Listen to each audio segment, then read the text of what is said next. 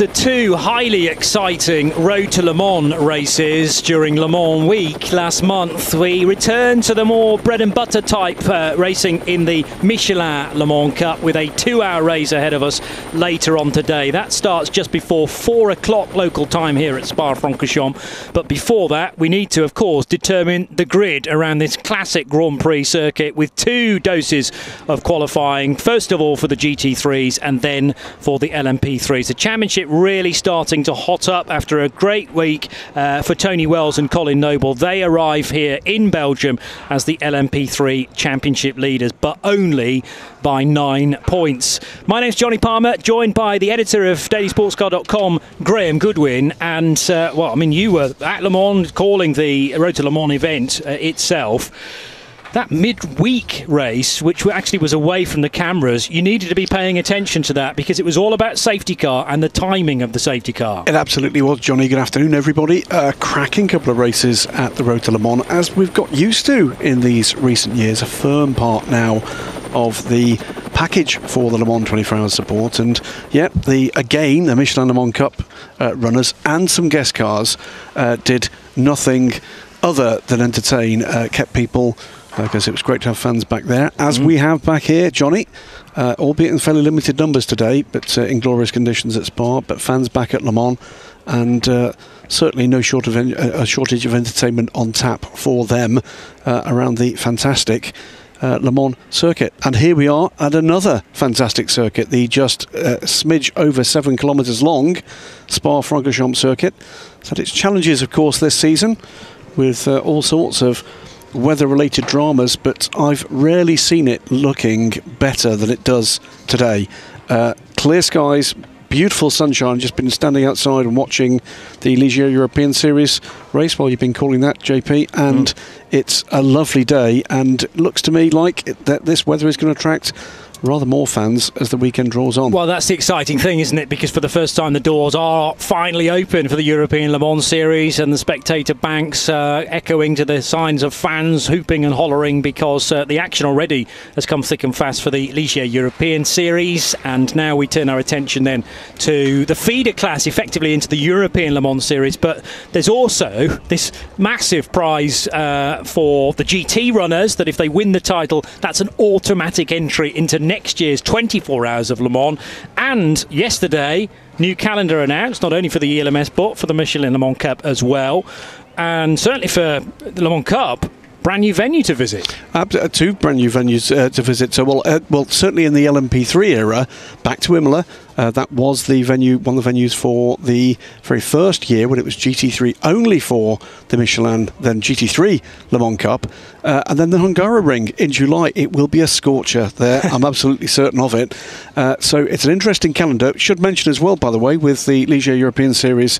Uh, just having taken place with their race one, that they'll be joining the Le Mans um, support package in 2022, which is fantastic news for them, and I'm sure that will draw more and more interest to the first rung on the ladder for the ELMS package.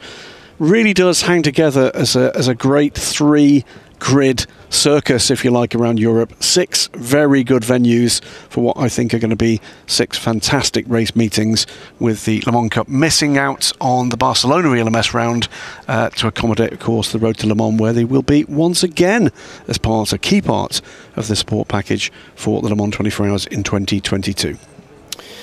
Yeah, so you've got um, the chance to enter effectively the 24 Hours of Le Mans a, a, number of years prior to it. So, you know, conceivably, you could enter as part of the Ligier European Series. That could be the precursor to the Road to Le Mans and then into the big show after that. And it also caters for the big, the all important thing, which is budget because you know teams that arrive that have never run at Le Mans before may not have a great deal of that, but want to drum up interest. And you look at teams that have slowly built their position at the 24 Hours of Le Mans, like TF Sport, who were one of the early winners in this championship, who have slowly grown that. Um, Egidio Perfetti, who was at that very first GT3 Le Mans Cup event at Imola that you spoke about, he's never been short on budget, but he has been short on, on experience back those years. Started to ply his trade in this particular class for GT3s, and now look at him, a, regular in the World Endurance Championship. it's a longer circuit than normal for the Michelin Le Mans Cup, Johnny, and that, of course, means, uh, as always, we get a slightly longer uh, qualifying session. Uh, there are rather slim pickings, it should be said, for the GTs here, with a couple of teams having suffered quite major damage uh, around those Le Mans races. It is just a magnificent trio of GT cars, two Iron Lynx cars, including this, the Iron Dame, Dames effort. They are our top three in the championship. So it'll be the two Iron Lynx Ferraris and the number two Porsche we saw just leaving uh, pit lane. So we're going to be looking for where the pace comes here and increasingly where these three high quality GT3 cars can finish in the overall order in the two hour race later today. Yeah, um, you, you, can understand why these three cars have entered this event because they are riding high in the championship as far as the teams are concerned and are so desperate for the prize that it is on offer. So, championship is led by the number eight car, which has had a different lineup depending on where you've visited the championship, if you like. So later on uh, in the season, Rino Mastronardi been concentrating more on the ELMS. Uh, the PZ Oberer Zurich Zürichsee by TFT Sport car, which is the number two Porsche, is second in the championship and trailing the leaders by 25 points. That number could be crucial later on in the season with uh, two lots of 25 up for grabs, plus the point today for Pole Absolutely. and a point in Portimao as well. And then the number nine Iron Lynx Ferrari too. So we've yes, we've got a small but perfectly formed field, but they are the top three in the championship. So there is a reason why we've got the two Ferraris and the Porsche here key, of course, now with that uh, quite comfortable but not insurmountable points difference for this number eight car, got to finish. A no, uh, a, DNF will not do at this point for the number eight car. It's a it's a relatively compact season. So it's uh, seven races across six venues for the Michelin Le Mans Cup squad, including, of course, that double header at Le Mans. So the number eight car, whilst at the moment has a healthy advantage, a DNF would change that well, particularly with just the three cars here, immeasurably. Um, so we'll a bit of a hashtag wait and see as to what occurs today. And then we move to Portimao, and that's a place that really can dole out the dramas. Not like this place can't. Um, it's, uh, but as you can see, Johnny, and, and, you've been experiencing it over the last couple of days, after a very wet start to the week, the uh, pre race weekend test session happened unusually on the Wednesday rather than Thursday here and was streaming wet. Um, as sadly, many race meetings here this year have found weather has been pretty awful for most of the international racing. It doesn't look like that's what's going to be happening today or indeed tomorrow for the European Le Mans Series. And we get to see these cars in glorious sunshine with colours popping. Through Les Combes corner goes the number eight Ferrari. So Gabriele Lancieri in the number eight. We've got Manuela Gostner in the number nine Iron Lynx Ferrari in the pink and black colours, and uh, Niki Leutwiler driving the number two car. A reminder that it is only bronze-rated drivers permitted to take part in this qualifying session. At Le Mans, that was slightly different in that you had a, a bronze-only session, and then the other qualifying session, it was entirely up to you. So you got to, we got to experience the pro pro drivers for once in the year doing a quali session, but we're now back to the standard rules. Uh, and this is one of the USPs of this championship is the responsibility that the bronze driver has to take on board. Lots of track time leading into this session, but this is all important to determine where the cars start on the grid. Massively challenging car uh, uh track and very unforgiving indeed for anything other than a very minor error. And uh, it's, yeah, not quite heart the mouth time for some of these bronze drivers, but they'll be relishing racing here, but uh, trying desperately hard to squeeze what they can from their car and their talent, whilst not risking. Uh, well, we've seen before, haven't we, many, many times here, uh, just a little bit of over exuberance, and it leaves uh, the car either requiring an awful lot of tender loving care or indeed uh, a quick uh, trip in a bucket back to the garage and uh, into the back of the truck, and away they go, having missed out the racing weekend. None of these three can afford that if this championship fight is to stay open. It could be settled here, it could, um, but right now, this is Niki Leutwiler making, uh, doing what he possibly can to stop that from happening and taking the championship fight to the final round. It's 231.844 for Gabriele Lancieri, by the way, the number eight Iron Lynx car. Here comes uh, Niki Leutwiler. I think he's going to substantially better that. Neat and tidy from Niki. crosses the line now. It's a 223.377, so very significantly betters uh, that mark. So 223.377. And we've been used to, Johnny, whether or not it's the three cars we've got here, five, seven, eight, the, the, the predominant colour throughout these sessions is blue. What do I mean by that? Is that these are drivers bronze drivers, as you quite rightly say, that consistently improve their performances through the entire uh, session. At the moment, I'm looking at a timing screen showing either purple sectors, because that was an all purple lap from Niki Leutwiler, or all blue, which means that they're improving on their previous time in every sector. That's what we've got used to seeing, that's what we expect to see, unless there are dramas for the remainder of this session. Yeah, it's uh, all about trying to go as quick as possible on low fuel. And even though you might think, well, three cars, qualifying session for a two hour race, does it really matter? I would say that actually, experience of a very light car and having to push like crazy will be so useful for these drivers at the end of their stint, which is an hour long roughly. If the if the team manager is saying, right, you've got to push hard on the in lap here, these guys need to know what the car's going to do when you've got just dregs in the fuel tank. Still that extra litre, no doubt, that will be taken as the sample at the end by the uh, post-event scrutineers. But otherwise, you know, these cars are running so, so light. What are they, sort of 1250, 1300 kilos, um, and not a lot more with the fuel. Um, predominantly, these three drivers will be in for the opening stint as well, so they need to know what the car's going to do when it's fully laden as well. Um, and the car, these cars only have to stop once, unlike the LMP3s, where we're still looking at two stops, one somewhere between 55 or 50 minutes and uh, an hour and 10, and then in the final 20 minutes, the LMP3s will have to stop again just for a quick blast of fuel. But what we've seen repeatedly through this season is that teams, when there's any kind of caution period, opt to just switch that strategy. It's made it, well, two things. It makes it dramatic, it makes it terribly difficult to unpick in the middle part of the race.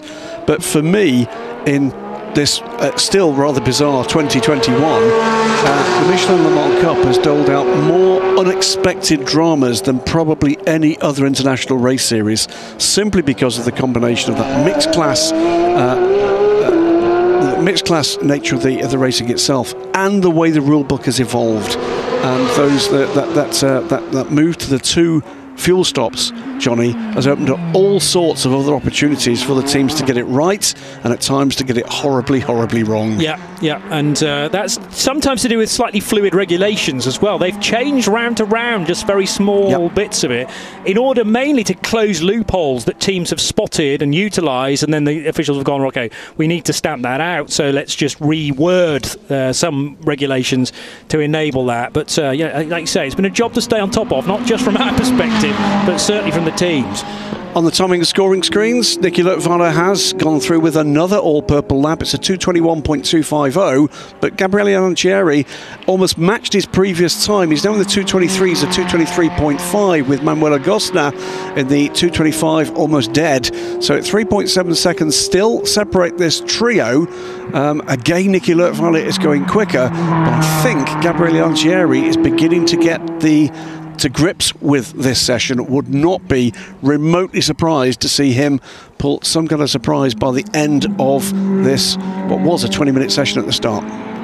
Lancieri, by the way, when we get to the race, we'll be sharing with Paolo Ruberti. Uh, amazingly, we've had two, three, four, five different drivers in the eight car through the course of the year, including Rory Penttinen uh, during the Road to Le Mans events. Logan Sargeant has raced with him, and Rino Mastronardi, who's actually scored most of the points for the number eight car. Now, remember uh, how the championship works when ACO rules racing is encountered. Uh, the car scores points, so car number eight scores points round to round, and then the drivers score sometimes the same, sometimes different points. Yep. Um, and it's always a question of keeping up to date with how they're doing because the eight car could very easily win the title with its many different drivers having scored the points. Uh, well, here's the, the, the oddity there is that none of the number eight drivers are in the top three in the Drivers' Championship. Niki Leutwiler leads that one and leads it from his teammate.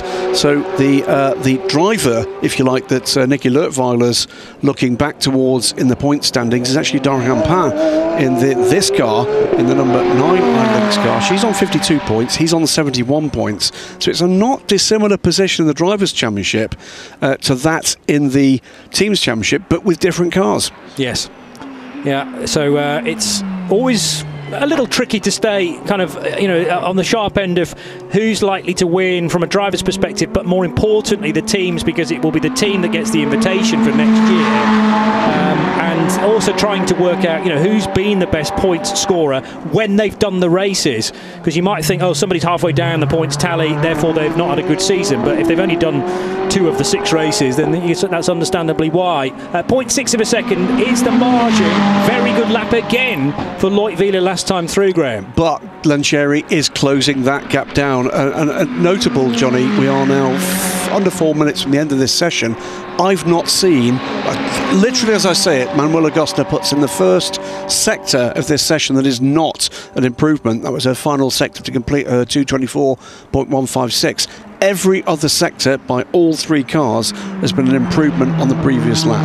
And that's pretty spectacular stuff. This is a challenging, challenging circuit and it's always about risk versus reward. You don't want to push like crazy on the first lap, uh, risking a very good time, but also chancing the fact that the car may end up in the wall, be very heavily damaged, and potentially won't even race then later on in the day. Qualifying and the race on the same day definitely needs to be taken into account when you are assessing the risks during this short, sharp session. 220.6 for the Porsche of Niki Leutwiler, the PZ Oberer Zürichsee Porsche, then the two Ferraris, 0.6 of a second and 3.4 seconds adrift. There's still time to find for Manuela Gostner. I think she's capable of a quicker time than the one she's so far set at 224.1. Uh, but at the moment, it's about linking up those three sectors all on the same lap. As now, an absolute best through the middle sector for Gabriele Lancieri in the number eight car. So 220.7, just 0.1 of a second away from the Porsche. Told you.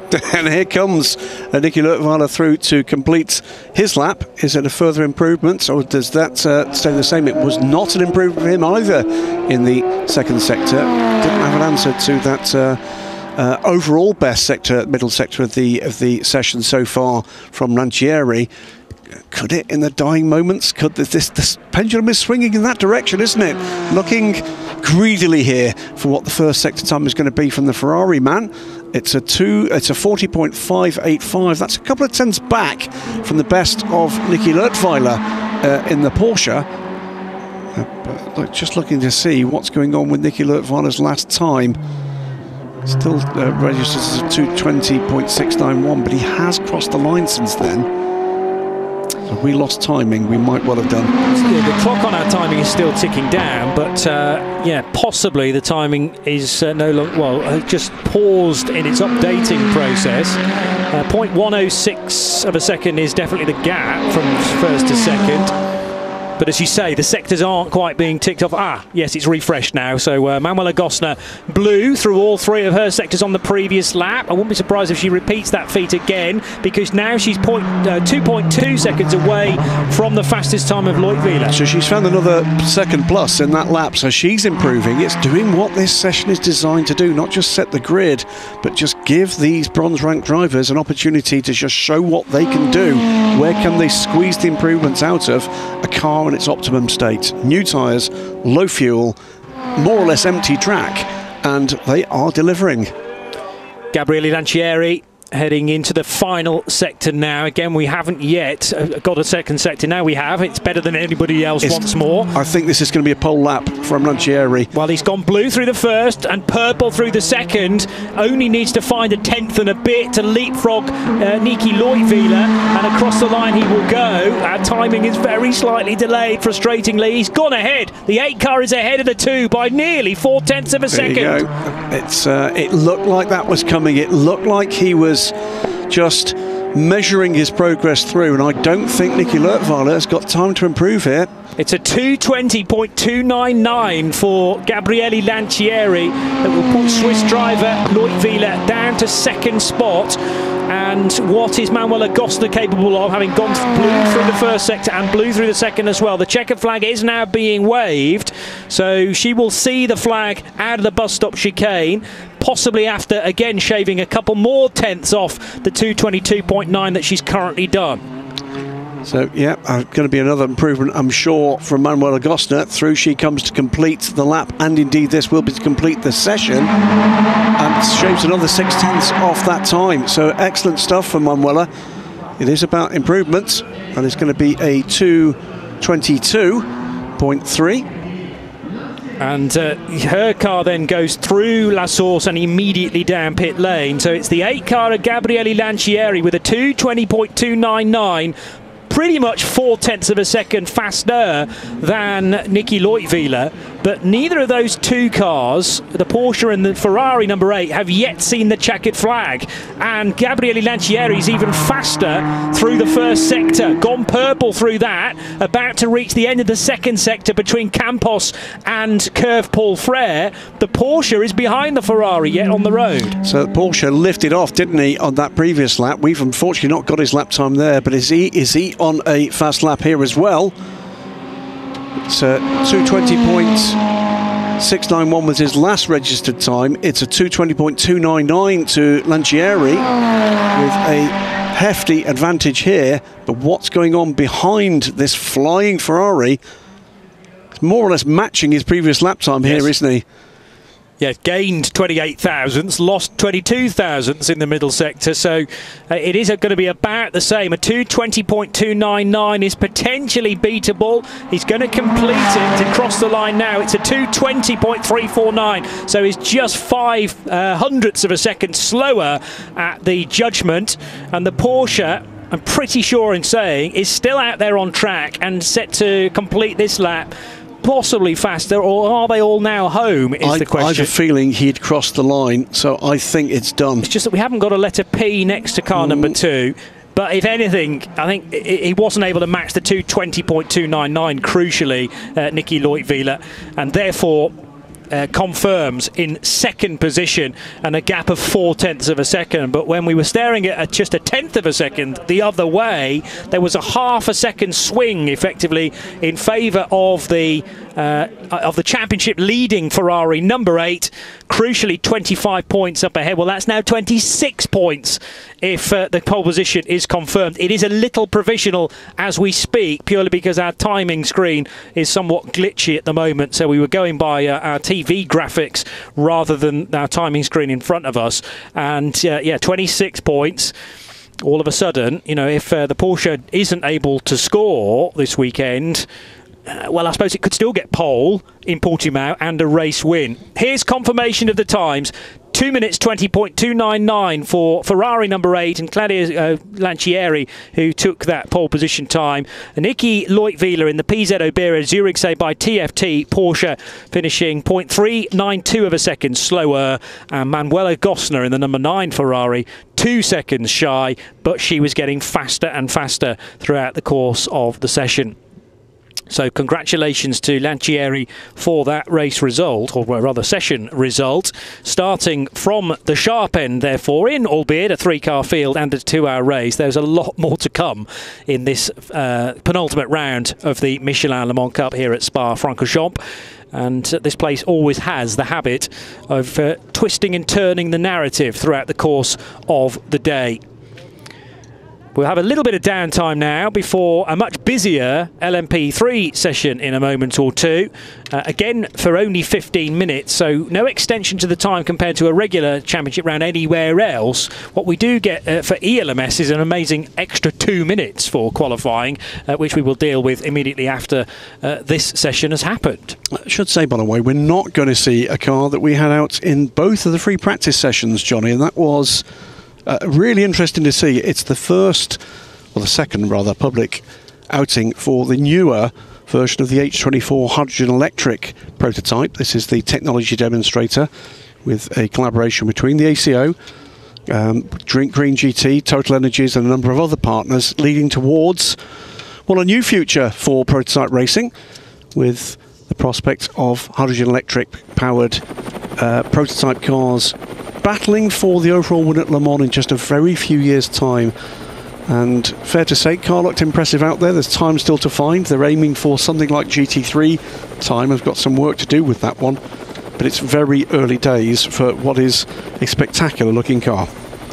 It actually sounds good as well. I mean, it sounds very, very different from uh, the normal LMP3 cars, but I kind of quite like the. Um, the sort of turbine sounding uh, winding noise that uh, everyone that hasn't yet heard it in person will become used to in the next few years. But yes, very exciting to have it out actually in a live session. Uh, but as Graham says, that won't be happening in the race later today. So in a moment or two, we will welcome 26 LMP3 cars out onto the Spa-Francorchamps circuit and glorious conditions will welcome a variety of cars and teams.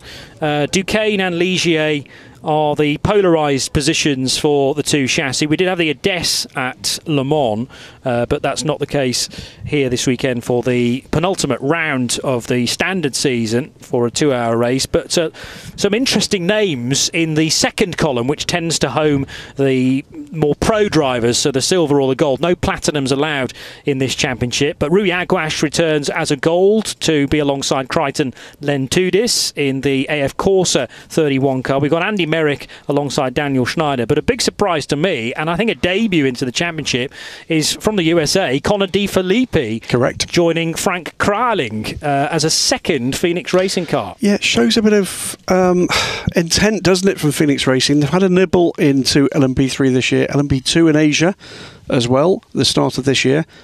We know teams and drivers are looking towards the future in sports car racing. And uh, I've got someone at the moment down uh, having a chat, I hope, with Connor post session to find out just exactly what the plan is. But uh, certainly the Phoenix Racing team are looking for that route into the what looks like a bright new future for sports car racing. And well, is this another customer that they're looking to take up that ladder? Um, certainly, we were not expected to see that additional Phoenix car. It's great that they're here and Connor, a, a bright star already, a 24 hour race winner at the Nürburgring, and uh, always a contender uh, when pedaling GT cars for BMW, uh, a regular in the IMSA WeatherTech Sports Car Championship aboard the mighty M8 uh, GTLM car. And uh, will be interesting to find out whether or not we might be seeing more of him in an LMP car in the near future. Yeah, it's uh, an area that, um, well, he hasn't really visited before. He comes from a downforce background, having done amazing things in Formula Ford in his early days, and then moving into other Formula cars, but has become much more recognised as a GT runner, which of course do, you know, they are dependent on aerodynamics to a degree, but uh, it's more about the mechanical grip that those cars can produce. Whereas these prototypes, the, the baby versions alongside Hypercar and LMP2, the LMP3s still rely on you pushing as hard as possible into the medium and high speed corners to extract the, the lowest lap time out of them. And there are some really fast corners here at Spa. At the start of the lap, Eau Rouge and Raidillon. Uh, then the, the middle sector is quite tight and technical with Les Combes and Bruxelles, Pouhon and Les Fagnes, but then at the end of the lap it's such high speed as well through Curve Paul Frere and Blanchimont corner where already this weekend a couple have come a cropper. Well, we've got, uh, we're told, a mile delay for this session. Should, should be underway by 12.40. wonder whether that was involved in the parachutist we just saw. Okay. Yeah. Um, so can't see any reason why out on circuit there'd be a delay. There certainly was no incident that we saw out with the GT3 cars, but we did see um, a look to me like a sport parachutist, not any kind of emergency above us. But uh, whether or not he'd strayed into an area he shouldn't have been. Possibly so. Uh, but uh, we'll wait for confirmation from Eduardo Freitas and race control as to exactly what the issue was there. But uh, this one will start, we're now told not 12.40, but 12.35. I think it was that, you know. So um, I'm just interested now to see whether we have lost any time at all. 12.35 is the scheduled start time for this session. There you go. So, uh, I say, great to see some fans around. And I think we're going to start to see some increasing numbers. As I was making my way over to the commentary booth, Johnny, great to see some families around. Mm. And uh, with the LMS finally able to wheel out um, one of its secret weapons in the Let's Bring Families Back to Motorsport. You've seen Universal Studios I have. You've seen, I certainly have, at Disney World. You've Yes. not yet seen Rookie Land. Nobody has seen Rookie Land yet, Graham. Well, It course. was at Le Mans. Oh, okay. It was at Le Mans. So visitors to Le Mans will have experienced and witnessed uh, Rookie Land. It is housed this weekend on the main start-finish straight. It is. It- Drivers left just after the grandstand. Imagine a top international theme park, but with a European Le Mans series sort of feel to it, and you won't be very far wrong from it. There's no roller coaster, I will say that. There is a giant screen, and there's uh, easily activities there to while away a good hour. I Oh, would easily. say. Um, probably, you know, ideally between races I think, today. but, but I think you and I should go and experience it actually post race. Without a doubt. Uh, the tricky thing from the scheduler's point of view is finding a gap of an hour or even half an hour between sessions today. Because I have to say, what I was, what I was about to say actually is that the, spa- the, the fans are, are really getting value for money. Only they've not paid anything to get in. And that's the great thing as well about the European Le Mans series. To get into the grandstands, the gates are left open for people to wander in and experience ACO rules racing, perhaps for the first oh, time. Oh, trouble for one of the United cars. That's the 23 car. That's in the hands of John Schauman, and he's had dramas at pit out. How's that happened? Has he got pushed around by somebody else? Because this is the pit lane exit route um, from the endurance pits. So the pit uh, stops, the pit bays on the downhill stretch. happened here? Oh no! All on his own. Uh, Did he hit the barrier? He, if he did, Yes. it was just a brush. With the nose, he certainly did because that bounced him further out into pit lane. Very odd one.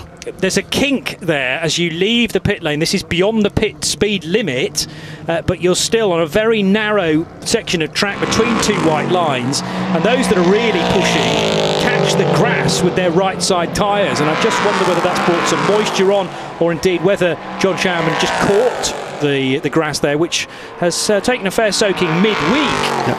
Uh, although it was nice conditions yesterday and indeed today, and I think set fair for tomorrow as well. One of the less dramatic moments um, of drama at uh, Raidillon that we've had in the last few months. Well, that's well, indeed so. Yes. Get, gets back on track and, and all is well, as they say, as the first of the cars starts on their first flying laps. And amongst the first takers for flying laps, 37 Cool Racing car in the hands of Antoine Doquin, the 69 Cool Racing car of Maurice Smith, the Racing Spirit of Le Mans Ligier in the hands of Jacques Wolf, the 11 WTM powered by Phoenix car of Torsten Kratz, and the 5 Phoenix car of Finn Gehrsitz. And there's some of our high flyers this season and amongst that little lot. This could be quite some session. So Antoine Doquin on the road is out front from sister car Mo Smith, both for Swiss squad Cool Racing, and they're still building tyre temperature on this. Well, first flying lap. They've done an out lap already. 69, yes, is uh, onto a second lap now. The 37 car, likewise, still finding time to weave briefly from left to right on the Kemmel Straight to build a temp into the Michelin tyres as the title of the championship would indicate. All the runners in this field are on the French rubber. As now through the left-hander at turn nine and down the hill goes Anton Doquin with Maurice Smith just far enough away so as not to be distracted and not to be in the dirty air of the sister car. Finn Gehrsitz is definitely someone to keep our eye on for the Phoenix Racing squad. And I don't think Finn has had a birthday since Le Mans, so he'll still be amazingly 16 years old, handing, uh, rather sharing with Hamza Owega. Yeah, born in September, so actually has a birthday in seven days' time. Around goes the Black Falcon car. It does. That's the number 12 car, and that's in the hands of Mark Rosenberg at the moment. So I think he's managed to gather that back up and is back running. Yeah, and Mark Rosenberg sharing with Dona Munding, two Germans racing for the uh, well, very well recognised team in GT3 and also in other GT categories. They run Porsche Cup cars around the Nürburgring Nordschleife, do Black Falcon, but this is their first season in the Michelin Le Mans Cup. Should say, by the way, in the least surprising and possibly most pointless uh, judgment from race control this season, the outlap of car 23 has been deleted. Track limits. Yeah, uh, unsurprising as you say, um, but uh, there will be a few of those Oh, yeah. through the course of the session, and some down to mistakes and spins. Oh, speaking of which, very sideways indeed, Finn It's all over the curve coming out of the bus stop chicane. Amazingly kept it pointing in the right direction, and that happened right in front of Torsten Kratz in the Wochenspiegel team Monschau by Phoenix car. That car looks wild, doesn't it? it does. Certainly, that lap is not going to count way, way wide out of the final turn. There's Antoine Doquin, who is at the moment the 217.391. Let's take another look. Oh, big power slide off and way wide there. But did the same out of La Source or during La Source too, just the corner, the ne- very next corner on the road. Absolutely. So is that tyre temperature? Is that Finn It's just being a bit too hot in the early stages? Wanting to get a banker lap in as early as possible in a short session, but possibly pushing a bit too hard there. That's John Schauman in and back out again after his dramas. We've got the yellow flag at the final turns. There's been further dramas in the bus stop. Look at Rob Hodes aboard the number 71 Team Virage car. That car's going to get lost in amongst the curves. It is. It's very, it is very curb camouflage, isn't it? Yes. So track limits might be easy to, or rather uh, difficult to spot uh, for Rob Hodes uh, from a, an official's perspective. They're looking to take advantage of that, I'm sure. So it's Cool Racing 1 and 3 at the moment. The 37 car uh, leads the way from the, the 60. That's the uh, the guesting Phoenix Racing car that we'll see Connor De Phillippi later in the race in the hands of Frank Kraling at the moment. Mo Smith, third quickest in the 69 Cool Racing car. Then the 25 Spirit uh, Racing Spirit of Le Mans car. At the moment, number five car's lap time does count from Finn Gehrsitz, despite the uh, very wide exit to the bus stop. Frank Kraling in the Phoenix Racing car. There's actually three Phoenix cars in the race then, there because are. of course the Wochenspiegel Team Monschau uh, machine is powered by Phoenix, therefore, therefore also run out of the same stable. United Autosport set for a busy weekend, but a number of cars entered in this session and the race later as well. And only three more requiring times before we've got. Uh, legitimate times on the board for all 26 cars. Antoine Doquin, Mo Smith over the line actually to split the cool racing car that is fastest for Doquin and Frank Kraling for Phoenix Racing. A big spin into the bus stop chicane at the end of the lap that's for the IDEC Sport car. Yeah, that's not the required line, I'm afraid. So the 17 car will recover. So Antoine Doquin, uh, 214.951. It's a 2. Uh, 15.4 from Finn Gehrsitz now, who goes briefly up to second place, but I think he's lost that lap as well. So he's now he has lost that earlier lap, loses another two. So it's Doquin from Torsten Kratz. Well, Alexander Matschel improves, so he goes second. Jacques Wolf is fourth. Frank Kraling, Tony Wells, Michael Jensen. That's your top seven at the moment as they change more quickly than I can catch up with. And to add insult to injury for Patrice Lafargue, who entered the bus stop chicane backwards, his lap is deleted. It's it's that he just a tad over track limits maybe there. slightly, yeah. Maybe one wheel. Just cut the he cut the corner, yeah. but he was backwards at the time, so I'm not sure he had a great deal of control over that. I see where they're coming from. the officials do have to be you know, consistent. So still Patrice Lafargue yet to emerge with a, with a legitimate time. Let's give him another lap. He was the car, of course, involved in that monster crash at Monza in the last two-hour race that we had, um, what, two months ago now. Should just add, by the way, to complete that point, that uh, with that spin, it's uh, Patrice Lafargue too could see where he'd been coming from. Very good point. Yes. So Motorsport 98. tyre tracks. Indeed. Hans Verrick de Doncker leads the 37 car, which still leads this session into the 214s from Antoine Doquin. Alexander Matschel in the Rinaldi Racing number 66 car runs second. Torsten Kratz at the moment on a very quick lap though with a purple first sector for WTM powered by Phoenix number 11 car continue that progress through this lap. It's going to challenge for front row and indeed pole at this stage with 26 cars on track. Through Blanchimont comes the cool racing car, 37. Yes, it's the Anton Doquin car then, which is already fastest. And the best of the Ligiers of that little gaggle at the sharp end. But two Duqueines up there as well. Alexander Matschel in second. Torsten Kratz is third.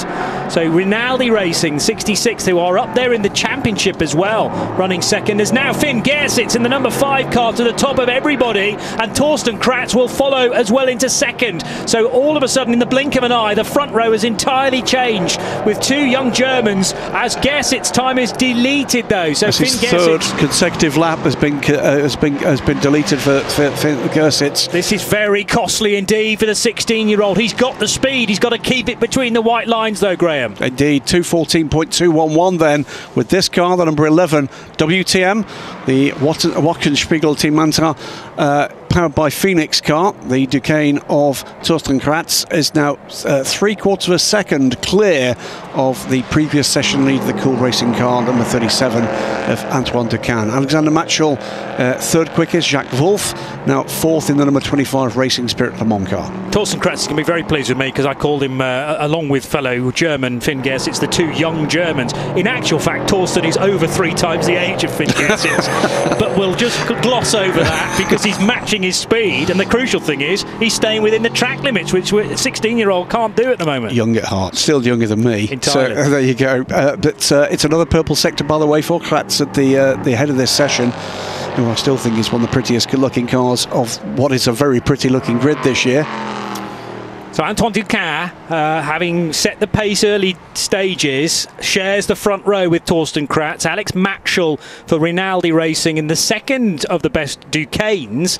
And then five Ligiers tucked in behind for Jacques Wolf and Racing Spirit of Le Mans. Maurice Smith, who was shadowing Antoine Doquin's every move in the opening stage, is running in fifth. I think Mo's capable of a better time than that. Audun Gudmundsson, sixth place for Team Thor. Oh, wow. That's that a big must improvement. be the best of the, of the season so far, if he stays there there. Indeed, and he's been finding time through the season. And uh, for a man that came in being extremely modest about their ambitions, that uh, sort of signals intent, doesn't it? Great stuff from the Icelandic team and the Icelandic driver.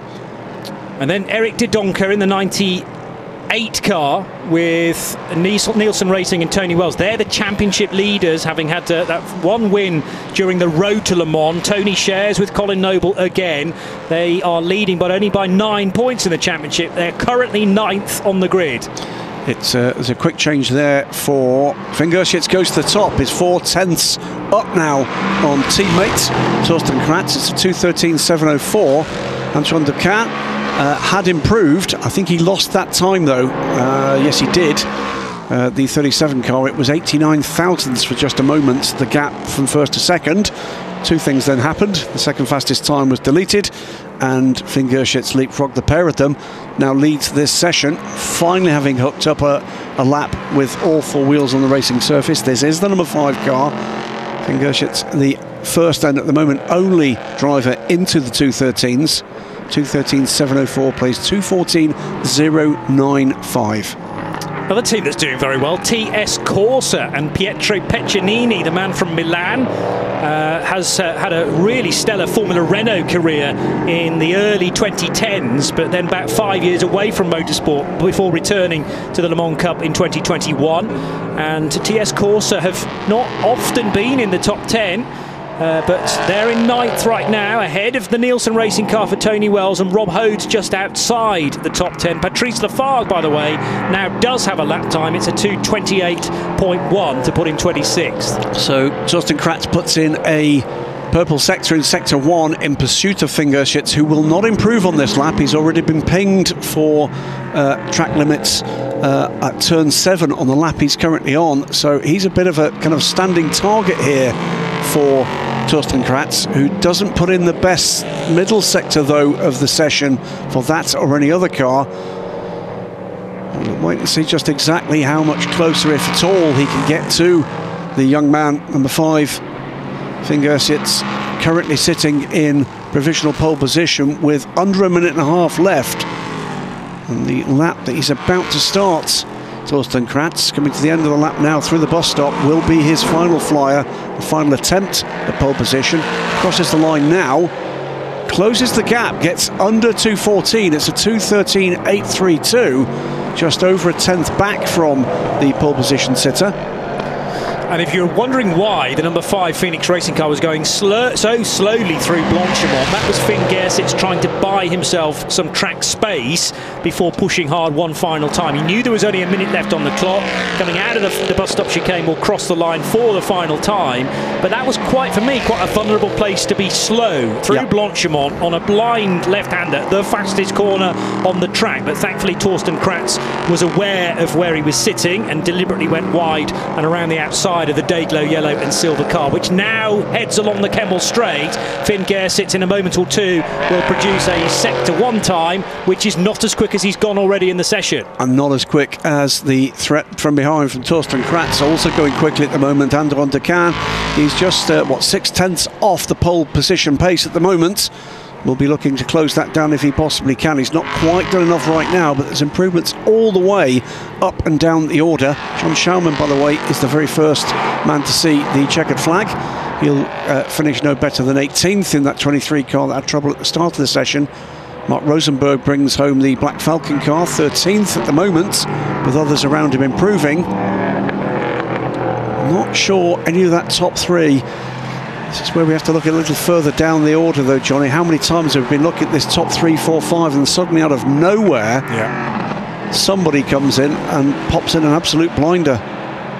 Lap six for car 20 has just been deleted. That's a track limit breach at turn nine. So Auden Gudmundsson's position improved because of that, I noticed. So he stays sixth. He's finished his session and with an improvement as well. 216, 684 for the Icelandic driver. Team Thor the 77 car will start no lower than sixth, third row start at the moment. Jacques Wolf for Racing Spirit of Le Mans, a very good qualifying for them as well. Over the line goes Antoine Doquin. There's no improvement for the Swiss team Cool Racing, so third position and no better for the 37. Also across the line is the sister car for Cool Racing and Torsten Kratz doesn't improve in the WTM Phoenix car. Yeah, Mo Smith did take uh, an improvement. He will start sixth, and home to Finn Gehrsitz, no improvement there either. So amongst the leading group, it's Mo Smith and Auden Gudmundsson that post the improvements. Uh, but the net result of that, Mo Smith up to sixth in the 69 car. Don't think there's going to be any improvement for the last of the leading group to, to finish this session. The 66 Rinaldi Racing car of Alexander Matschel still has to cross the line. Tony Wells is still out there and could be a factor moving up the grid, but certainly not to take pole position. It's a pretty good lap from Tony, but uh, doesn't improve. I think he's pitted. He has indeed. He's pitted at the end of that lap, so he was seeing no improvement on his delta on the ragged edge, Antoine Doquin, as so many were in that session, particularly through Eau Rouge and Raidillon and the tyre, the Michelin tyre, flexing beneath the car on that left-hand side. Torsten Kratz finishing in second position with the 213.832 that was set fairly late on, and just over a tenth of a second ahead of everybody, Finn Gehrsitz. He did push hard towards the end for one more lap time, but it wasn't uh, good enough to improve. It turned out that he didn't need to improve, though. The 213.7 was good enough. So cracking stuff again and some names that weren't that familiar at the start this season becoming far more familiar now. And we see what uh, the end of this season and then into 2022 will bring for some of these newcomers from our gentleman drivers and the new young talents that uh, this Championship is breeding too. There, Johnny, though, is the overall order. So the five Phoenix car getting pole position. In fact, it's a Phoenix 1-2 and you bear in mind that Wochenspiegel Team Monschau are powered by Phoenix. Cool Racing, who set the pace early stages, third position for the best of their two cars, with Mo Smith in the sister car sixth. And between 37 and 69, the 25 for, or rather the 66 for Rinaldi Racing and Alexander Matschel, and Jacques Wolf for Racing Spirit of Le Mans, car number 25. Team Thor, surely a best qualifying of the season for Auden Gudmundsson, car 77 ahead of Pietro Peccenini and TS Corsa, also a sparkling qualifying session for them, 73. Nielsen Racing and Tony Wells, championship leaders, will net a ninth place start alongside Eric De Doncker at his home race for Motorsport 98, car 98 to start in 10th position. Then United with their best car, the 32, Daniel Schneider, uh, Frank Kraling for Phoenix Racing Racing, the 60 car the uh, machine he shares with Connor De Phillippi, starting 12th ahead of Team Virage for Rob Hode, Steve Parrow in the other Rinaldi, 55 and 15th place for Black Falcon, and Mike Rosenberg. No shortage of dramas, and happily none of the car damaging variety. It was all about speed. And by the way, even though the cars will run out of the endurance pit, the race itself, the pit stops will take place on the Grand Prix lap, on the on the level, is my understanding anyway, and that's how it's been done previously. We'll wait and see what happens in reality. You need to join us not only for that, but also we're in store for a cracking race, the penultimate event of the year for the Michelin Le Mans Cup, which is a five to four local start. Join Graham Goodwin and me, Johnny Palmer, for that later.